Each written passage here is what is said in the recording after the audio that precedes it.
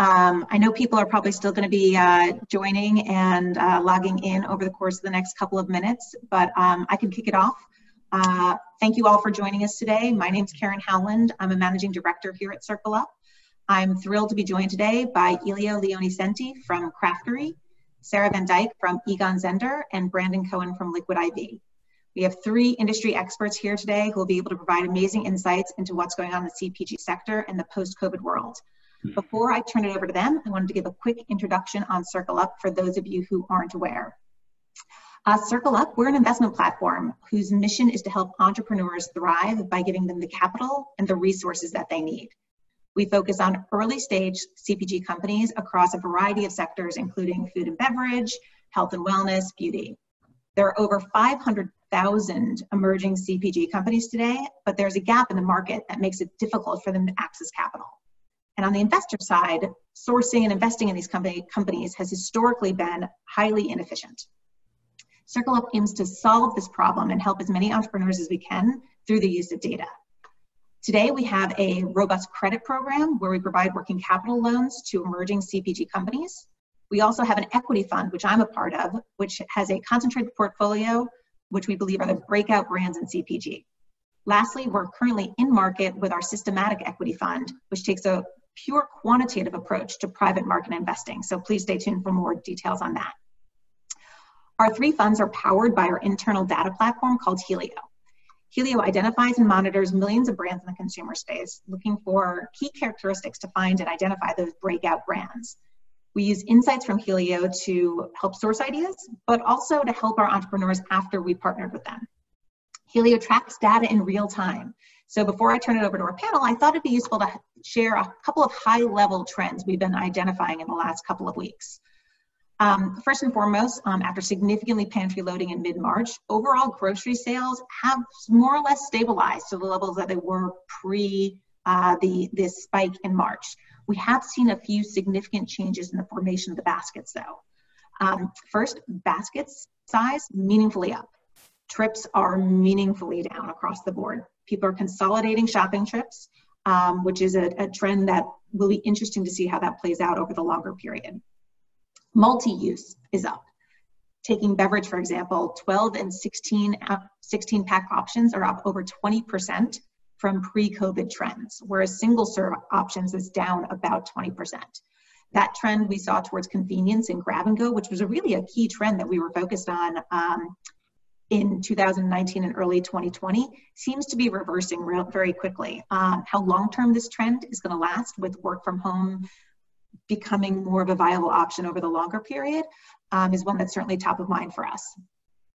Um, another key trend that we are watching extremely closely at CircleUp is uh, the fact that incumbents, the large mega brands like Coca Cola, have been taking share. Um, the, these mega brands saw a peak revenue per week about 55% above their January and February run rates uh, in, in, the mid-March time period and are still running about 10% above the, that kind of that index before, um, before COVID. New brands are seeing it, saw a similar pop on panic buying, but are now running broadly where they were pre-crisis, if not a little bit below. One of my colleagues, Ying Wang, uh, posted a blog a few months ago highlighting during previous recessions, after short-term disruptions, emerging brands continue to take meaningfully meaningful share, and they end up being stronger after recessions. We know several emerging brands like Brandin's company, who uh, he'll talk about this later on, um, which are performing very well during this crisis. We don't believe the 10 year consumer trend of moving towards niche products and innovation will end, but this is obviously a trend that's really top of mind for us and that we're watching very closely. Uh, and with that, I'm going to turn over to Brandin to, uh, from Liquid IV to do a quick introduction. Thanks, Karen. Um, hello, everybody. My name is Brandin Cohen. I'm the co-founder and CEO at Liquid IV. Um, I was introduced to CircleUp, I think way back in like maybe 2017. I was actually looking at the the online platform, the third party platform that you guys had at the time. And then about a year later, we were looking to raise money and got connected to uh, to Ben and, and, and the team. And um, you guys came in in our in our Series B round, which has been awesome. Um, been able to utilize Helio, which has been really cool. Um, and yeah, the, our business has gone from uh, you know under a million dollars in sales to uh, you know well well up in uh, growing very quickly and uh, and it's been it's been a fun ride. We have a hydration product. It's an electrolyte product that you pour into 16 ounces of water. It helps water absorb in your bloodstream faster. Um, and we have a science that also allows other nutrients to be pulled in along with it. And so we recently launched launched a sleep product um, and also um, an energy product uh, with matcha and Guayusa, and uh, both are doing well in the market. So um, it's been a fun ride over the last couple of years with CircleUp, and I'm happy to be here today. Awesome. Thanks, Brandin. Uh, Sarah, would you like to do a quick introduction? Sure. Thank you, Karen, so much for having us uh, here today. I'm Sarah Van Dyck, and I'm with Egon Zehnder, the global leadership advisory firm. Uh, we help companies to win by identifying and developing great leaders, uh, an area I'm uh, really passionate about. Um, personally, I lead our North America consumer practice, working both with the disruptors um, who are really coming in and, and will be of most interest here in terms of really creating challenge and change in the industry, but also with the large players who are seeking to transform by disrupting themselves.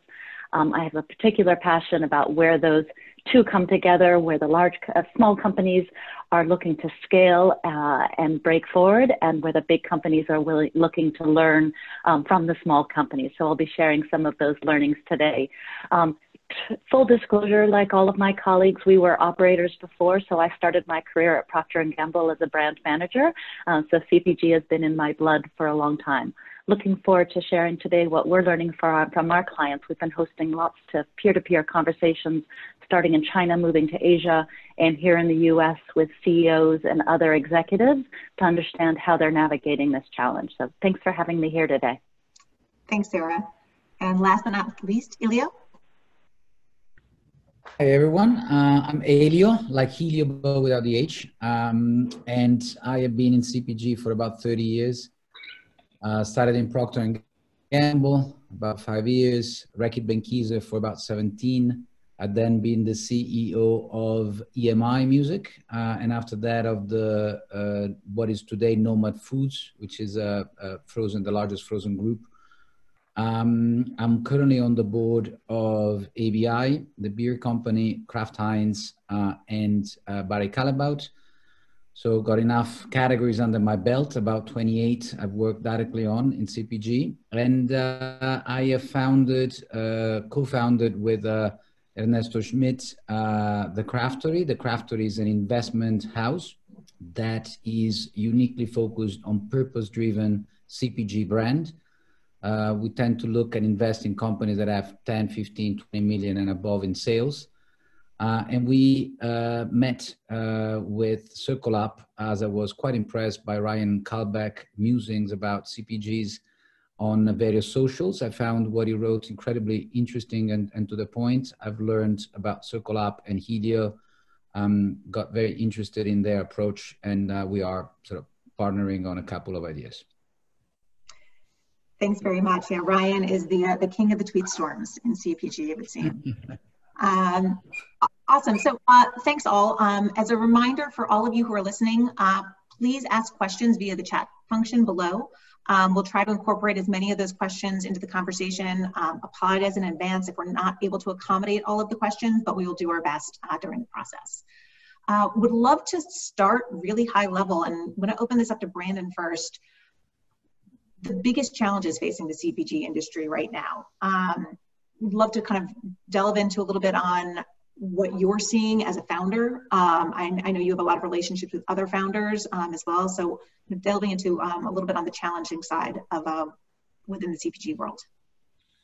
Yeah, that's a great question. Um, I think it's like what's not challenging right now might be a better way to to phrase it. But um, yeah, I mean, I think for us, just to go back to the beginning of this whole thing, um, you know, there was sort of this. I was fortunate enough. My dad, he runs a global architecture firm, and so I was watching what he was dealing with in China. Um, you know, in January, February, having to send people to work from home and how serious it was. And so I, I sort of was a little bit out ahead of it. I think I, I was like, this thing is this thing's moving pretty quickly. And so we were talking about just work from home potential and like bringing your laptops home every day and that sort of thing early on um, which I think helped us a little bit. we didn't think it was going to be like this. Um, and then when all this hysteria buying started, uh, I don't even remember the exact date anymore, but it was so interesting to try and navigate through all of these different variables at the same time. One, you want to, you're worried about your health, your family's health, your team's health, and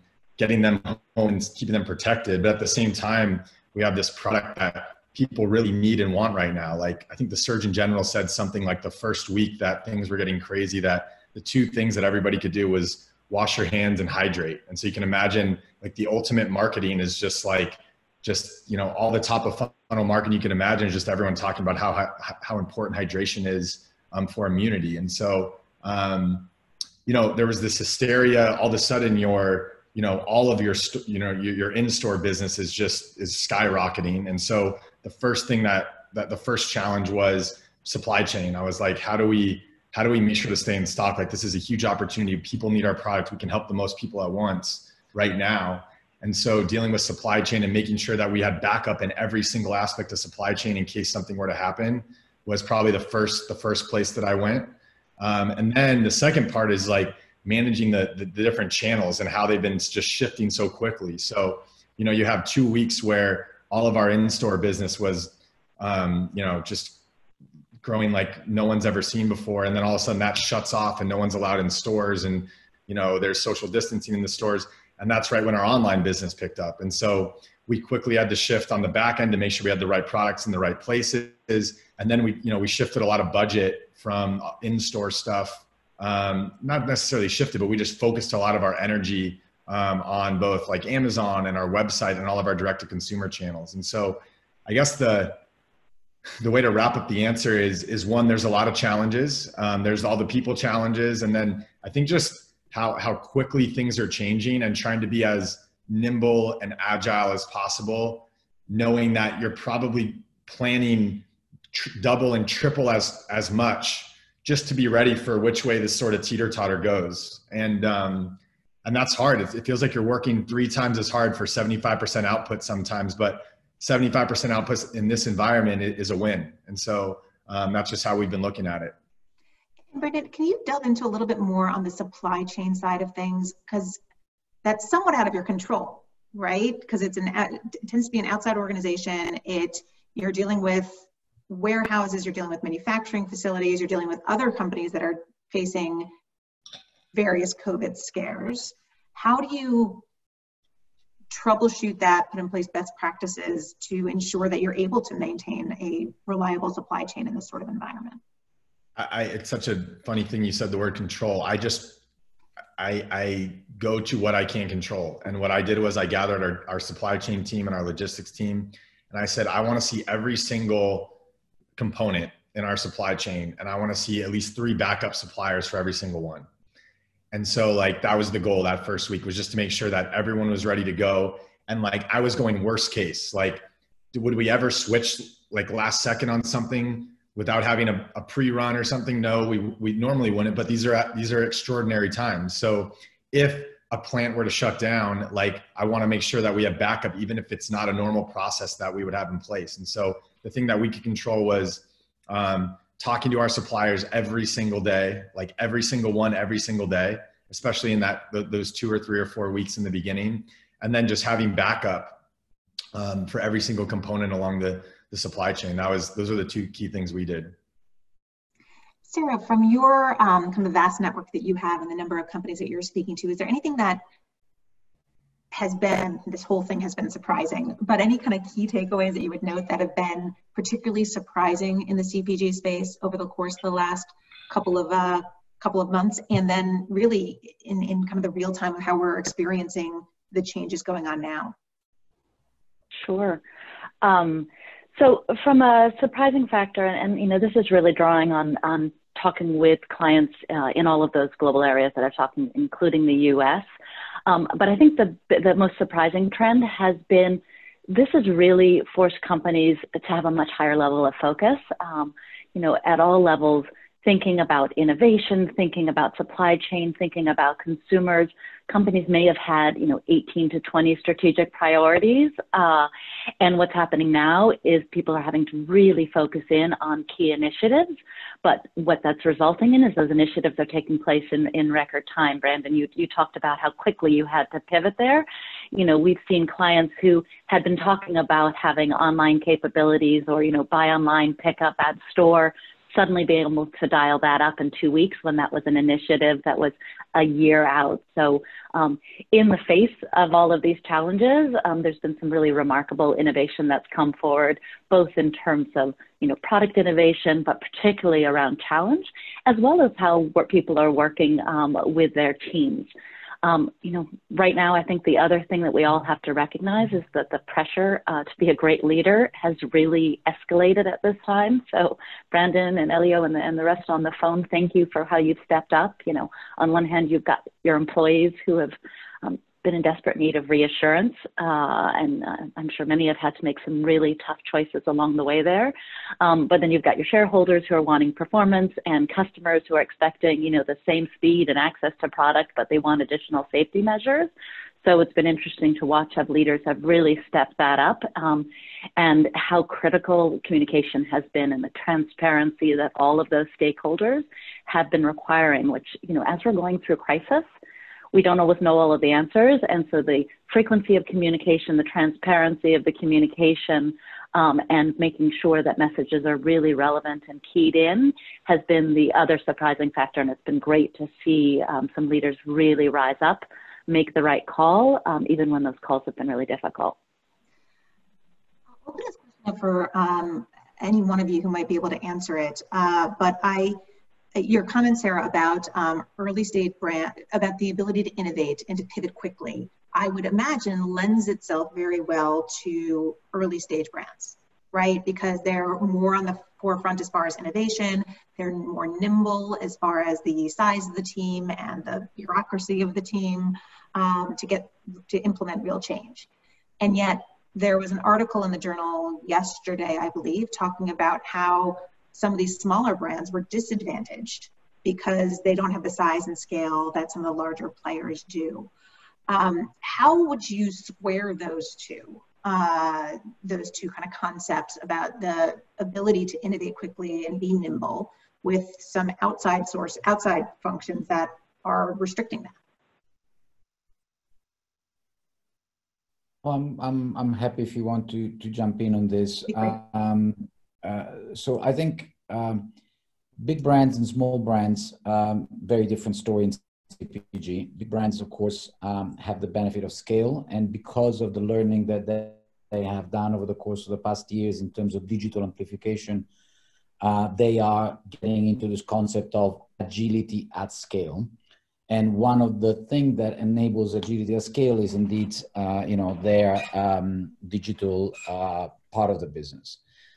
Um, however, they also have the physical one, which is, of course, the, the, the retailers, where they are uh, in a much stronger position uh, versus the smaller brands. And so they are using that stronger position, bigger volume, bigger relationship, longer terms, controlling of the shelves to, um, you know, leverage the, the smaller brands uh, out or, or, or, reduce, you know, their presence. So um, that that is on the big brand side. On the on the small brands, maybe just you know stepping back, uh, the Craftory was founded on on the principle that there are four areas uh, that are really the challenge of the small brands, uh, which is the creative brand storytelling. Number one, digital amplification, so engaging consumers across the whole path of digital engagement to e-commerce, but the whole way. Number two, scale up, so all of the logistics, supply, manufacturing, you know uh, scaling up from one to 100, but more importantly, from 100 to whatever, 10 million, um, you know, uh, in that sense, and a product innovation strategy, number four. And in this moment, uh, you know, the, the challenges, I would say, brand and storytelling is not a challenge because new, new brands had one when they started. They it, it is good or bad, but it's not any particular uh, enhancing risk or opportunities at this point in time but all the others do. So digital amplification, absolutely fundamental that there is a boost, uh, you know, on on maximum, you know, speed and understanding because on digital amplification, smaller brands have an advantage versus the bigger brands. They normally have more of their sale depending on it. They're more data driven. They have a DNA of understanding customizations and data way more than the bigger brands that are still learning and with difficulties at time. So, uh, you know, digital amplification is definitely a leverage to use. Scale up, um, eight out of 10 failure in startup in CPG, eight out of 10 on, on our experience failed because of some related issue with supply. It's either you pay too much, it's either the working capital, is either, you know, either financials or quality control or simply, you know, a wrong supply chain and, um, you know, some failure in, in, into the, um, you know, the, the, the sourcing, um, you know, value chain. So um, in scale up, I think what Brandin, what you said makes a lot of sense, you know, refocusing with some few experts in the critical areas and really staying on top of navigating week by week, but with an eye of preparing for the gap that might come three months from now. And then the last one, which is product innovation, and, and Sarah, you were mentioning something about that. Um, I would say in this point in time, in these three months, maybe six months that we're in front, it's more of a risk of distraction than an opportunity. And while you know normally you need to talk about product innovation and grow, and in CPG without innovation you don't go anywhere. It's an absolutely vital blood line for the CPG long term. For the early stage, you know, smaller brands in this moment, it is not about inventing the next thing. It is about securing the current one. And so um, I would say, you know, product innovation is the one that I would sort of temporarily freeze um, in the in the coming you know few months rather than distracting the organization to try and further complex the launch. It, it, in supply terms it's so i know additional uh, noise if you want. So so in summary is brand storytelling either you have it or not product innovation freeze it for a while and you know digital amplification and and supply are the the key um, you know area to win uh, in this moment against the uh, the bigger brands the um, the idea around uh, product innovation is um, kind of hits very true um, from everything that we've been hearing. We've been talking to various retailers, everyone talking about pushing out new um, new resets of their uh, of their shelves.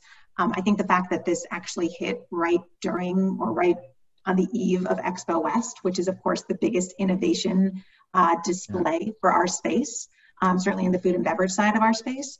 Um, really put a bit of a freeze on that, uh, that innovation pipeline in the near term.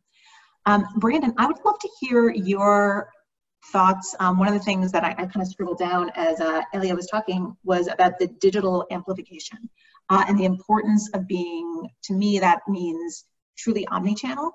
Um, would love to hear what you're seeing and how you're planning really for the next kind of three to six months from the different uh, the different distribution channels, um, you know, retail, Amazon, your own D2C. Um, are there any trends that you guys are planning for um, for growth or uh, different areas that are you're you're putting less emphasis on? Say that again. I want to make sure I answer the question properly. Um, thinking about the omni-channel approach um, between retail, uh, Amazon, and D2C, are yeah. there any shifts that you are seeing now play out between the three and anything you're planning for in the next kind of three to six months as far as where you think the consumer is going to be?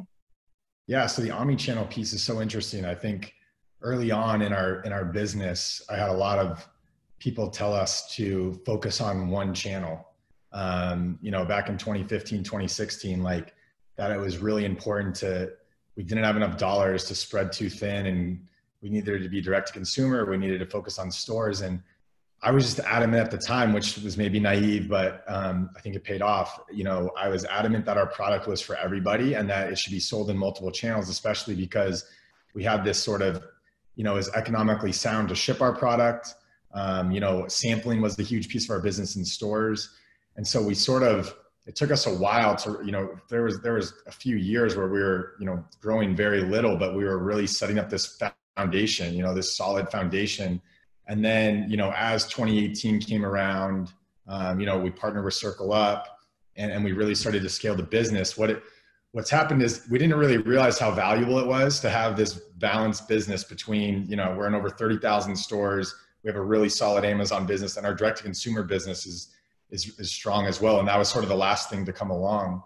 Um, and we didn't really realize how valuable that was until this all hit. I mean, I think we knew, but until this hits and all of a sudden, like at one, one day you have all this store traffic and the next day there's no one in the stores and your business can support itself with all of this, you know, online, all the online business, we really realized uh, how valuable it was. Um, in terms of trends, it's it's hard. Again, it's hard to speak to because things are changing so quickly. Um, you know, obviously, I think it's obvious that we're very focused on digital right now. I think um, for us, I keep telling our team one of our main rocks is uh, interacting and communicating and connecting with our consumer right now. And so um, I think it's just a really big time to be able to do that. I'll give you guys an example. We um, we we had a whole events and partnerships team. You know, sampling our product has always been our biggest way to get our product out. When people try it, they love it. We bet on our product, and so we had big events like Coachella and Stagecoach and Super Bowl and um, iHeartRadio Music Festival. Where we're going to be handing out millions of sticks to people. You know, where people try it, they, they they see how it feels when it goes in their body, and then they go purchase in one of our you know channels. And as soon as this thing hit, obviously, almost immediately, you know, all events are canceled, right? And so we were we had all this in, we had this inventory we were going to use for sampling. And my first reaction, and it has to do with our true north of our mission, is how do we help the most amount of people? We always talk about that, whether it's commercially with people buying our product or giving back to people in need. And we had a ton of nurses and doctors reaching out to us. Um, and so we started putting together these kits and sending them out and then we realized, hey, what if we took our event and partnership team and turned it into a COVID response team internally for the next, let's call it, we didn't know, but we said it was going to be eight weeks. It was, was the plan. It was just a short term plan we put together. We put up a landing page. We mentioned it on our, on our social media and it was the most viral thing we've ever done. It went all over LinkedIn, Instagram. Like we had over 7,000 requests within the first couple weeks.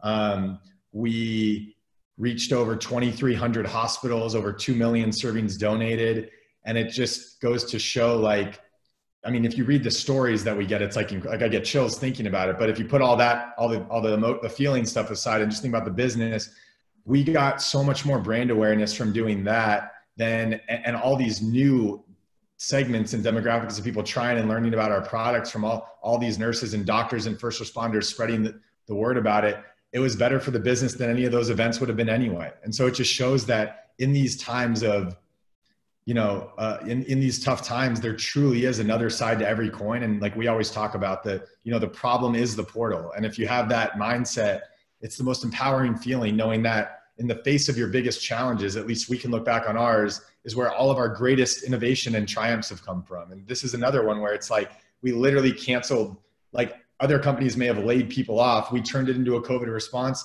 and it turned into a better marketing program than we would have done even if we would have not had the had you know had the pandemic hit. Um, it obviously was all over your Instagram and your LinkedIn. Um, you'll be pleased to know that it was all over CircleUp's internal uh, internal network as well about the pride that we felt of being able to play a very, very, very, very small part of what you're doing and the mission that you have. So, thank you so um, much. You guys play a huge part. Thank you. Um, Sarah, I'd love to hear your insights um, and on, on the global front. Um, obviously, there are some other uh, regions that have gone through this uh, earlier than we have. Are you? Are there any best practices, any key learnings that you can share about what the CPG space and early stage CPG in particular might be facing over the course of the next couple of months, given what you've seen in other regions and Absolutely. And uh, it's interesting just hearing Brandin, some of the, the things that you touched on are trends that are just accelerating around the world. So you're experiencing it all firsthand that, you know, the, um, the, the key things that we hear. And actually just this week hosted um, a group of CEOs, including CEOs from China and CPG to talk about what they're go, going through. And um, fascinating as, as many of them are coming back to work. Supply chain is, you know, up to 95% in certain categories um, as they've moved forward. And what they're seeing accelerating is, is many of the things that you've just talked about. Um, from a DTC perspective, the innovation that's taken place from a channel perspective you know, while they don't expect it to completely switch over to DTC, there's a whole new uh, realm of consumers, particularly older consumers who didn't previously think about, you know, ordering groceries online, um, et cetera, who are moving over to that, and that's going to become a way of life. So they now feel like um, DTC is going to be a permanent part of their mix in a way that it wasn't before. Um, I think the second thing that they've touched on that you have already experienced, Brandin, is this notion around purpose-led brands um, as being really core to where the consumer is requiring. But, but interesting in what they're seeing there is where you know we were really focused on green, um, reusable products, sustainability in the packaging. That's going to be important, but clean is what they're hearing from the consumers as being more important. Um, you know, are these products safe? And so how are they thinking about social responsibility and sustainability there in just a slightly different twist versus the focus on green that has been so core going into it. Um, and then I think some of the other things that they're seeing is, you know, definitely more at home consumption and what is that going to mean? Longer term elio to your point about product innovation they're not focused on product innovation today for sure. Um, but you know where are they thinking about going? How are they going to get products? You know people are going to be entertaining at home and not going out and so certainly thinking about shifting away from um, food service um, as a primary channel. We don't see that coming back right away. Um, but then, you know, what they are seeing, and I think where most people's heads are, it's really about what does this mean to go back to work? Um, and, and it's meaning different things in different ways. You know, one CPG uh, CEO in China shared, uh, so he's in a premium beverage space, um, and he's actually already met his 2020 goal by the end of April because there was such demand for his product. First, there was hoarding, and then there with this goal around how do we have healthier products there was complete pivot to his sector. Um, and so they're actually looking this as an opportunity to grow, which seems so far away from our reality right now, where he's looking at this going, I actually have excess cash right now. And how do I do this to, to, to really expand the market share? You know, I think that's an exception out there, but there are those stories coming in in China um, where, you know, um, many others are just focused on how do we return to work? How do we um, help our uh, workers to feel safe, uh, first and foremost, to even come back to work. What is that new work going to look like? Uh, I think top of mind for everybody is grappling right now with how do we manage shift working, both at the manufacturing, but also within uh, the uh, headquarters. How do we balance the equity and you know, almost the ethical issues between what we're asking of our manufacturing um, workers and what we're asking of our headquarter workers. Um, I know that that's been an issue even here where um, particularly in you know, personal care and, and home supplies where there was such demand, how do we keep our workers safe in the manufacturing site uh, versus here? And then um, I think the last thing that's on people's mind right now, um, and you look at all the numbers, is there's a real difference in terms of optimism about the recovering economy. Um, you know, in Europe is still really low. If you look at the numbers, China is much higher. I was on a conference call with a different set of CEOs yesterday, and they were all sitting in the, you know, within conference rooms with their employees, and they weren't even wearing masks. This happened to be in Shanghai, um, where they've really loosened up, and so you know, it's kind of shocking to see people on the screen sitting right next to each other. Um, whereas in Europe, you know, Elio, you can speak to it better, but um, still a lot of fear, which is going to have implications for demand in the marketplace for products beyond value products. Although interestingly, what we've seen in China with the prestige products, you've got this barbell going on where if you're not either at value or prestige, you know, a lot of worry about what's going to happen to anybody who's playing in the middle of the sector. do you have any uh, insights that you could share on perhaps a European uh, consumer and what you're seeing there?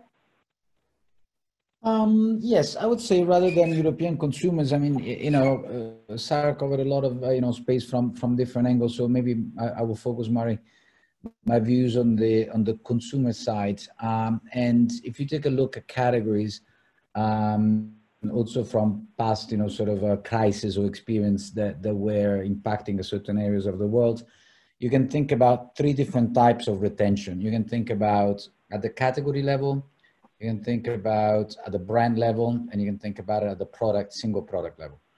So the changes will stay for those categories that have changed their dynamic at the category level. If the dynamic change only at the brand level, it's a share game. If it is at the product level, is basically a you know company um, game. But if it is a change at the category level, it would change you know reflect consumer behavior. So what are the what are the changes that I've seen um, you know in, in various places? It depends on the habits of consumers, um, but certainly in cleaning. Uh, already the let's say Asian consumers, the European consumers, and the Latin American consumers are very different sort of a um, behavior in particular category by category, whether it's beauty, whether it's cleaning, you know, and so on and so forth in this crisis, the attitude to clean and the attitude to what is perceived to be antibacterial, which is the consumer way to talk about antiviral. I mean, let's skip the scientific imprecision of that statement, but the antibacterial clean is something that consumers have understood and changed, and it will stay the same way, let's say that, you know, HIV changed the sexual relationship between consumers, increased the amount of condoms, and that stayed over time, particularly in the most affected population. Um, the same way, the change in uh, attitude to clean, particularly what is perceived to be disinfectant and antibacterial clean, have uh, increased and will stay with the consumer, particularly in the most affected population, which in this case tends to be both the elderly, so the older population, as well as the poorer or the lower income because they tend to have more people in a more restricted space. So if you think about risk and association, that is certainly a, a change that, you know, we have seen in different regions in, in similar way. Uh, another one, of course, is beauty. Uh, you know, in, in, in beauty care, one thing is to stay face to face, one thing is to stay zoom to zoom, and one thing is to stay with a mask. And so the, the, you know type of makeup that you put has to be resistant to sweat and rubbing in a different ways than you know used to be before you have to put a mask on. And as an as an example um, you know that is another category that is impacted in very different way depending on the habits of makeup and the type of you know um, skin uh, care that um, that consumers have. So you know that that's another one that, that we're looking at it with sustained and expected you know change uh, to remain. Um, and the other one probably is in uh, sort of house appliances. Uh, today, you know, laundry machines and, and dishwashers are mostly associated with um, a mechanical performance, and the temperature is a secondary benefit. Uh, there is a lot of attention and understanding of consumers that temperature is actually a way to clean deeper and or to get rid of possible uh, disinfection um, and therefore the performance of household cleaners in higher temperature uh, over time and, and the type of clothing that you know are associated with that with that thinking or, or, or plates and dishes uh, will also probably change and, and, and remain as an element of, of change in the uh, category retention that I was saying before.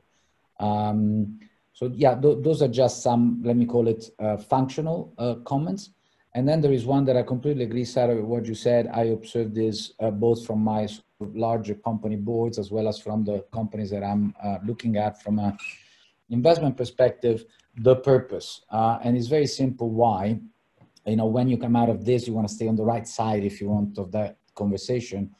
Um, consumers have been, you know, sensitized and are way more aware than they were before of the importance of planet and society. Respect the planet, be careful of society, because if you don't do one of those two things, you know, shit might hit the fan. And uh, that uh, basically awareness have, have increasingly um, changed their attitude towards brands. Brands are sets of values that reflect what consumer believe they themselves are and the signal they want to give to others. And so brands that understand um, that change will win and that change is a reflection between higher awareness of planet and society and brands that reflect that preference into their positioning. So the first three comments were about category change, and this last comment is about brands and, and how they will win in, in association in association with purpose um, driven uh, messaging. Do you think on the category front, um, and um, Elio, I can direct this to you, but anyone who has any opinions on this would be helpful. Um, I, I, mentioned at the beginning of this call that we have seen a shift towards um, some of these larger incumbent players taking share. Uh, Sarah, you'd mentioned that you're seeing actually a the pendulum swing back the other way, that kind of clean labels, healthy products um, could are potentially taking kind of rebounding um, post this period of comfort. I, think about my own shopping habits, and uh, two weeks ago, I bought Pop Tarts for my children. I have not, I've never bought Pop Tarts for my children in my life, but I saw them and I was like, they would get a kick out of this. And now I am back to buying my normal, a little bit healthier, cleaner type products. Do you think we're going best? The pendulum is swinging back that way um, towards that better for you type products and we'll see the consumer move uh, migrate back towards that those trends um, short answer to your last question is yes um, the better for you the purpose driven the more woke um, you know brands will definitely connect with the growing part of the population which is increasingly aware themselves uh, not to be, however, easily discarded the power that brands have in the memory, in the subconscious memory of consumers, and how important is to have comfort food, comfort, sort of your blanket of security when you are in crisis. So what's happening in this moment is that the big brands that are sitting somewhere in the back of consumers' mind reminds them or reflects a desire of security because they've been there forever. They've been there for 50 years. My parents, you know, I've seen it in TV shows that, you know, we're still in black and white or whatever. And so that sort of security blanket plays a massive role in this moment. So brands that are big and established and that realize that they can play proactively that security blanket values, but you know, hooking into uh, the current more aware uh, consumer perception will have an opportunities that they would have never had without COVID.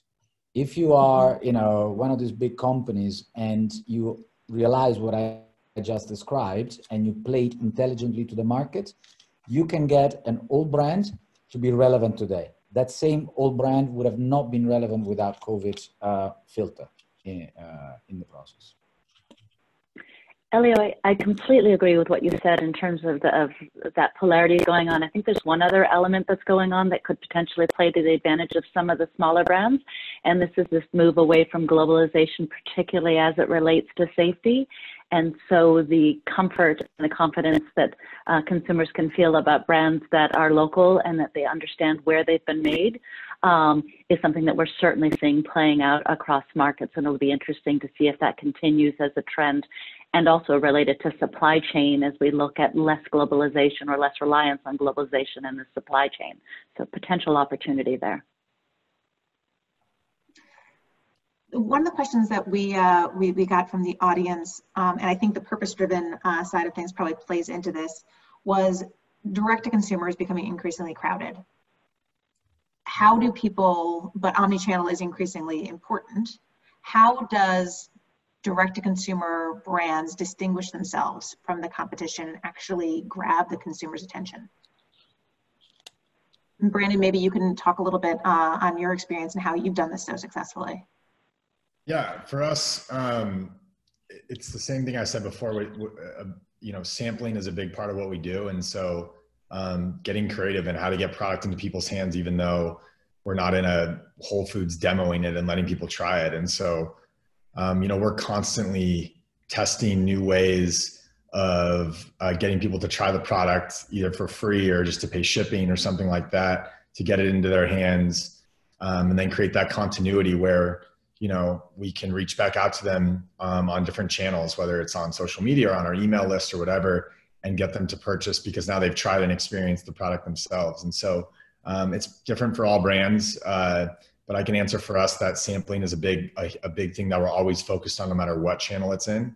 Um, and then I think it comes back to storytelling. Um, you know, you know, if, if a brand over the last let's call it 15 years, you know, has used to like you know telling their story on shelf in a store or on one TV commercial or one billboard. When it goes to digital, you have to tell a hundred times the amount of stories that you have to tell, um, you know, in a, in a, you know, a past way of marketing. Like you can target more specifically and you can tell the story about how, for us, like how hydration is for the mom who's on the go and has her kids at home or how hydration is for the elderly person um, who isn't drinking as much water and doesn't taste it as much or you know, for the person who's still getting their workouts in in the morning. We have to create all those stories and make sure people can connect with them. And um, uh, I think those are those are two things we focus on a lot: is getting product in people's hands, um, and then really telling a story to the person who's actually on the other side of the screen versus just telling our story because it's ours. It's got to connect to the person on the other side. And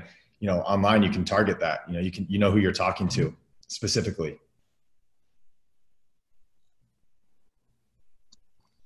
Yeah, maybe just to add to this, you know, from our perspective, the the uh, the, the brand storytelling is really the answer. I completely agree with that. And brand storytelling is made out of two things. One is how sharp is the blade of your brand, how, how sharp is the, the edge that you're building versus other in terms of competition. Um, and the second is how good of a storyteller you are.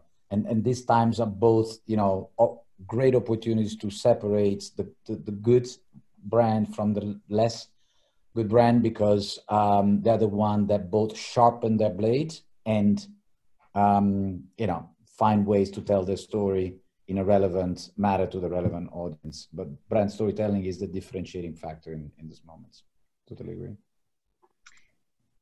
If I could pivot a little bit in the conversation, um, Elio would love to get your insights as an investor. Um, how should investors be thinking about early stage CPG right now? Uh, are you shifting your strategy at all? Are there pockets of, um, are there areas that get you particularly excited? Um, so, so we are in CPG early stage. We're a fairly unique investor uh, in the sense that we're not a fund, we're not tech. Um, you know, we haven't invested in, in hundreds of company. We're very focused, we're operators, we're permanent capital, and we look at brands as partners in which to invest for the long term. And we do maybe 20 to 50 million checks for, you know, 10 or 12 companies rather than, um, you know, uh, more ones. So, so we really think about it on a partnership perspective. For investors in general, I would say more of the discipline that we've been using um, as expert operator would be a good thing to look at early CPG in this moment. And what I refer to specifically is the structural profitability of the you know P&L curve of these brands. So the the the, the um, attitude that many investor had was early stages, early stage. In tech, it works to spend a lot of money, lose a lot of money, create a data scientist team, and and you know things will be great um, and then some of these same investors had the similar attitude with CPG, which is um, on our you know experience the wrong attitudes because in CPG P&L don't get better with scale as much as in tech. You can get 5, 10, 15% in a good day, you know, margin advantage uh, if you go from selling a million to selling 50 million um, sales a year, but you don't change the curve of your P&L. So in this moment, I would say that investing in early stage CPG is a great moment, is a great opportunity. They are lower risk category. We just discussed before. I mean, we have in our portfolio brands that are growing 100% versus year ago, literally. Um, and and uh, you know what other categories are in this position? Not many. So it's a it's a lower risk, you know, less cyclical, higher growth opportunity in this moment. That's great, but really, really lot of attention and screening those that have the wrong P&L curve because structurally they will not be able to change it. And so uh, I would say that made, uh, we probably have seen, I don't know, 300 companies uh, over the last couple of years. Uh, out of the 300 companies, I would say no more than 20% had the right P&L curve. 80% were uninvestable. So the uh, the uh, attention, I would say, is an opportunity with a very keen eye on the, on the structural curve of the profitability as the brand scale um, of that brand. And that presumably comes with a higher gross margin and a fixed cost that can leverage over as the as the sales increase. Co- correct. Those are the two key one. You know, the gross margin, of course, being the key one, and then you need to have a, a scale that doesn't depend on replicating the same cost in 30 countries. I mean, sometimes you see these companies that are relatively small, but they are in 30 countries, and um, that's possibly not the most effective way of, of, of, of profitably growing. Are there any key sectors um, or key categories within consumer that are of interest of yours? Um, yes, um, I would say, I mean, we, we, we, we do not have any established, say, preference by definition, but in this moment, we're looking very keenly at pet care. We're looking very keenly at household care. Uh, we're looking uh, also at um, health from within, let's say, you know, everything which has that sort of understanding of the, you know, the healthy biome, the, the, the, the gut health, the, the, the beauty that can reflect also in, in, from in outside. So some of the elements, you know, Brandin, uh, you are somehow related on hydration, but it is still sort of a health from within uh, a form of that. Um, so that that space also is very interesting. Um, and um, yeah, I would say if I would have to just choose um, three, those those three would be the, the more interesting ones. Great, thank you. Um, I know we're coming up short on time, so before we finish, I was hoping I could uh, ask one question to each of you. Um, would love to hear your thoughts on the long range prediction for CPG as we emerge from this crisis. I don't know if it's going to happen this month, September, December. We emerge from this crisis. Um, what are some of the surprising effects that this time is going to impact this sector for the longer period? And maybe Sarah, we can start with you. Sure. Um, so I think we've talked on a lot of the sector changes. Uh, I remain, and as I talk around the world, really optimistic about the hopes for CPG. Um, but really coming from my lens, I think one of the biggest changes is going to be how we work, uh, no question. So if I um, think about what is top of mind right now that it's going to impact us last uh, long term, it's really this notion of thinking from a workforce um, perspective about productivity versus flexibility. Um, and one of the exercises I've heard a lot of CEOs doing is kind of writing down on a post-it note what is not working as well now that we're all working remotely. And so that as we come back together, how do we really focus our work time around those things that are not optimal right now? And innovation actually comes up as one of those. But I think we're going to see uh, a lot more flexibility in terms of how people are working together. That's going to have an impact on the industry for a long time. Yeah. It's great. I like that. um, it's a pretty short post note for most. I, I tend to think again, we don't, you know, really know, but I tend to think that obviously the uh, you know the market is in a really interesting spot and we don't know how long this is going to last whether it's going to be like a v recovery or a swoosh i just read some article that was showing all the different types of recovery but i looked back at like 2008 and 2009 which i didn't really experience i was you know i was in college so i didn't but i just wanted to study what sort of the trends were coming out of there. And i'll speak more to wellness just because that's like really where you know my sweet spot is is that even through those really hard times wellness stayed pretty flat or, or you know throughout that time whereas a lot of things didn't or if not grew. And i think with this i mean that was a that was a recession due to not health related anything right? And so this is um, you know this is 100% about our health and how important health and wellness is.